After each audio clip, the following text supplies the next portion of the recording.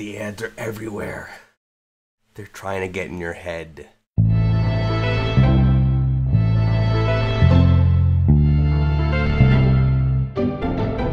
Hey, this is Scott Wyden Kivowitz, and if you're tired of seeing these Wix and Squarespace ads, maybe you're enjoying it. I don't know, but they are everywhere, right? And it's for a reason. They're trying to convince you that they're the ideal solution for your photography websites. But are they really? My opinion, they're not. Now, I work for Imagely, a company who makes photography websites. So you're gonna right away say I'm biased. Well, you know what? I am. I've also been a WordPress user for well over 10 years. And, you know, it, it, it's the best. I mean, there is nothing better than WordPress. You can do anything you want with WordPress. I'm also the co host of the WordPress Photography Podcast. Please be sure to subscribe on iTunes, Google Play, Stitcher, all those places. Wherever you listen to podcasts, check that out because it's we break down everything so it's easy for you to understand. Now, I want to talk about um, yes, Wix, Weebly, Squarespace, they all make making photography websites very easy. But that's about all they do. Some of them have really poor um, code for SEO purposes. For example, one of the services actually completely removes all the HTML, so all you're seeing is an iframe code.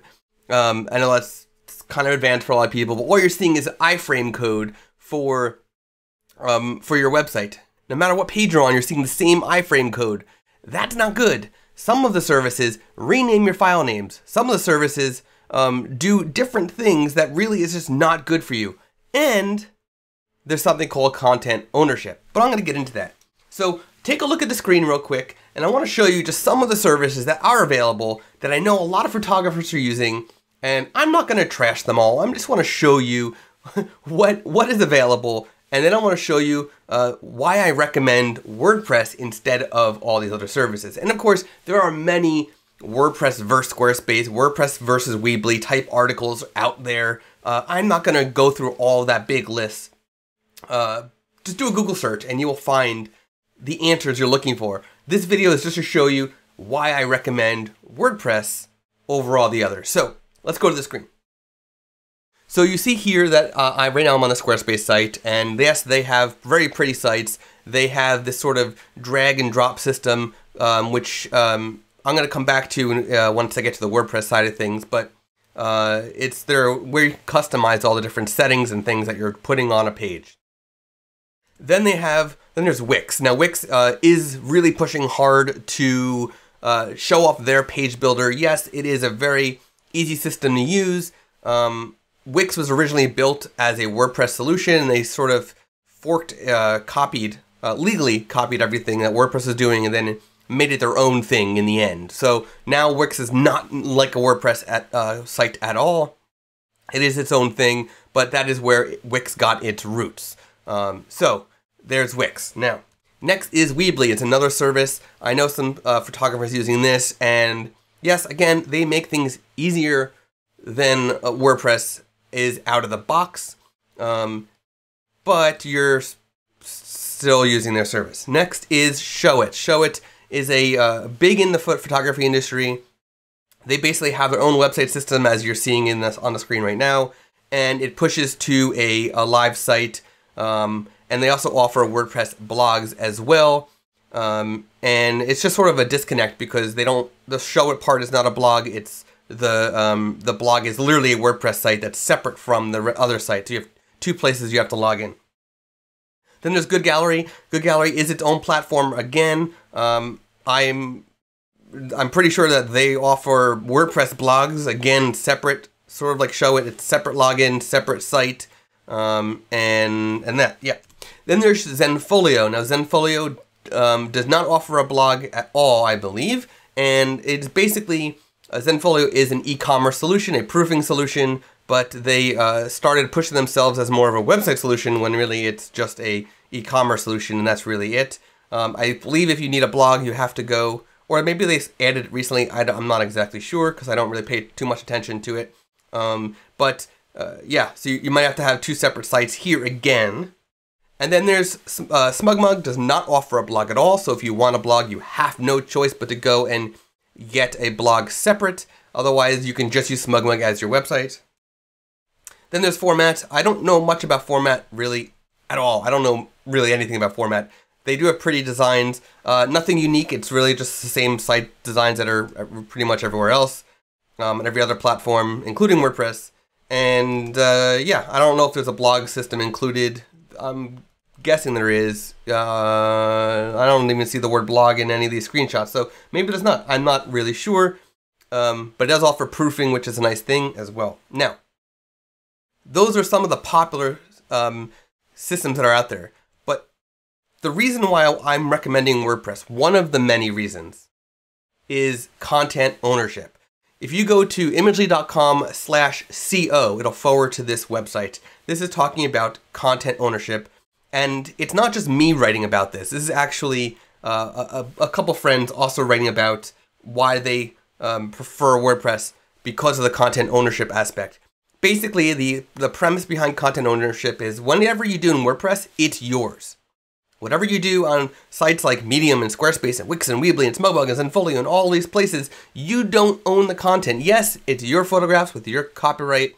Yes, you made the text, but they can do whatever they want with your site, with your content. And it means that they can actually use your content in their advertisement and not give you a dime. So content ownership is super, super important. And the only platform that really is worth talking about that gives you full content ownership is WordPress. Now, one of the confusing things about WordPress, and uh, there's a, uh, a podcast episode I did called uh, Misconceptions and Confusion, Confusions, because a lot of the confusions in WordPress is actually be caused by misconceptions. WordPress, first of all, is not a blogging, blogging platform. It is a content management system that offers static pages, and blogs. Yes, it started as a, as a blogging platform. It is no longer a blogging platform. It is now a content management system. Now, there are two types of WordPress sites. There's WordPress.com, which is created by a company called Automattic. It's the company owned by the original developer of the WordPress software. WordPress.com is not what I'm talking about in this video because it is still a closed system like a Squarespace, like a Wix and a Weebly and a Showit and a Good Gallery and a Zenfolio and a SmugMug and a format. It's a closed system. It does use the WordPress software, but you cannot add any theme you want or any plugin you want or do whatever you want. You do have your content ownership though. You do own every aspect of your site when you use a WordPress.com. But that is not what I'm talking about in this video. I am talking about WordPress.org. This is the actual software of WordPress. This is the software that you can install on any host, on any server. You can even host it locally if you want, um, and do whatever you want with it. Literally anything you want with it. So what I mean by that is if we go to look at themes, there are thousands and thousands of themes. There are thousands and thousands of themes, right? So the latest there are just over 4,500 recently published WordPress themes. If we go to plugins, now themes are the look of your website, plugins are the functionality of your website. There are almost 50,000 free plugins. Now, this does not include anything that's paid. There are many paid plugins, there are many paid themes out there. This is just the free ones. Now, it might be a little overwhelming the fact that there are a lot of free themes and free plugins out there. What do you use? What is best for your site? You could go and look at the featured plugins up here. You could go down and look at the popular plugins. You can look at some beta plugins, whatever you want to do. But this is where some of the confusion of WordPress comes in because there are, there's so much. The upside of WordPress is that you can literally do anything. The downside of WordPress is that you can literally do anything. So, uh, what I recommend is checking out um, is checking out Imagely Hosting. Imagely Hosting is a turnkey photography website solution. It is built on WordPress. It is a managed WordPress host, which means you don't have to worry about the technical stuff. You don't have to worry about installing WordPress. We do it all for you.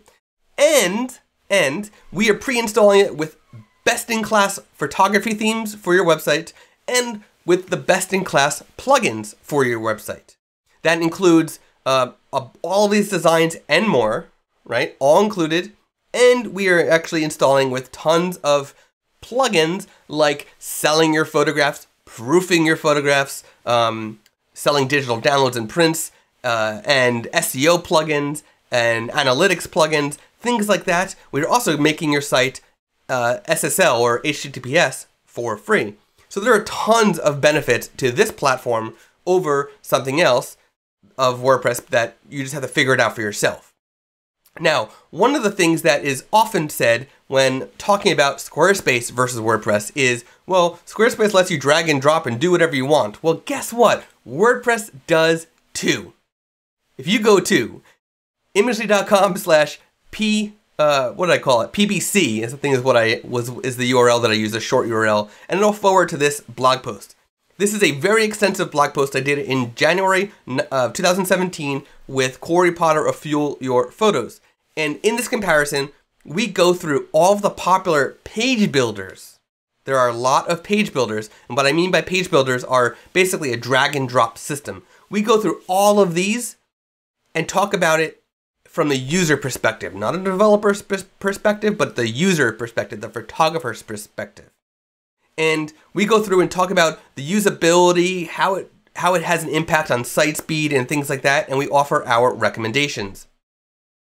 And we're actually there's a whole bunch that uh, of new ones and updated ones that we have to go through and, and update this blog post about. But um, in the meantime, this is a fantastic comparison. There are tons of page builders. And I'm going to show you my, my recommendation a little bit.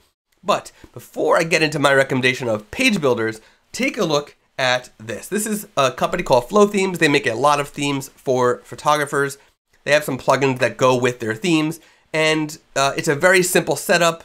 No page builder built in, but they the way they designed it is just a very easy setup. It's kind of done for you, which is a nice thing.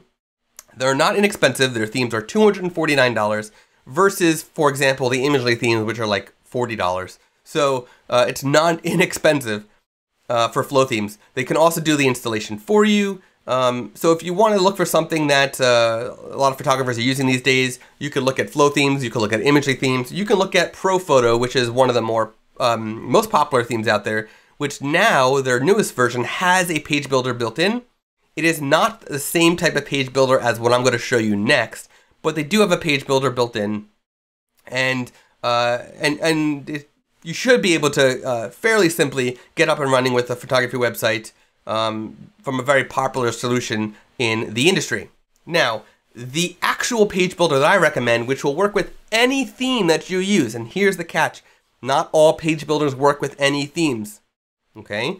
This one, called Elementor, works with any theme. So whether, whether you're using Flow themes or ProPhoto or uh, anything from graph paper press, whatever you're using, Elementor will actually work and give you a page builder system built in. So you can see that you can do a bunch of dragging and dropping of, of the, the, the elements, these modules that you, put, that you put in there. You can resize columns and adjust height.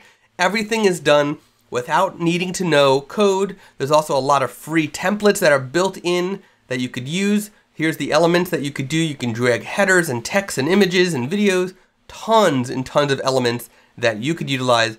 And then there's a bunch of uh, premium if you wanted to buy their premium version. But really, their free version does, I would say, 99.9% of what anybody needs. So it's pretty fantastic on that front.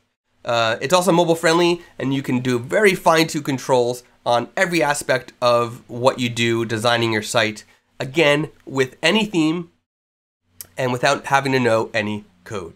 So uh, as far as page builders goes, this from Elementor is better than Squarespace, than Weebly, than Wix, from Showit, from ProPhoto, from Divi, any other platform out there. Elementor is the best one there, and it's 100% free, unless you want to buy their their premium version, which is still not that expensive, uh, for a few extra features. Now, the last thing I want to mention is the actual customizer. I mentioned that Squarespace has this customizer feature to make uh, quick changes of colors and things like that. WordPress does the same exact thing, and in fact, they look very similar. So when people say, oh, you can customize so much easier in Squarespace, it's really BS because it's the same thing in WordPress. It just looks a little different. That's it. So, um, again, my argument is not to say don't use Squarespace, don't use Wix, don't use Weebly. I am saying there's a better solution out there for you that gives you full control over your content, full content ownership, and lets you do whatever you want. And that is called WordPress. Now, I recommend you go to imagely.com slash websites and check out the hosting solution there, which is a turnkey solution that gives you everything you need, that manages your site for you so you don't have to worry about the technical aspects. And check it out. You get 30 days for free. Thanks for watching. See you in the next video.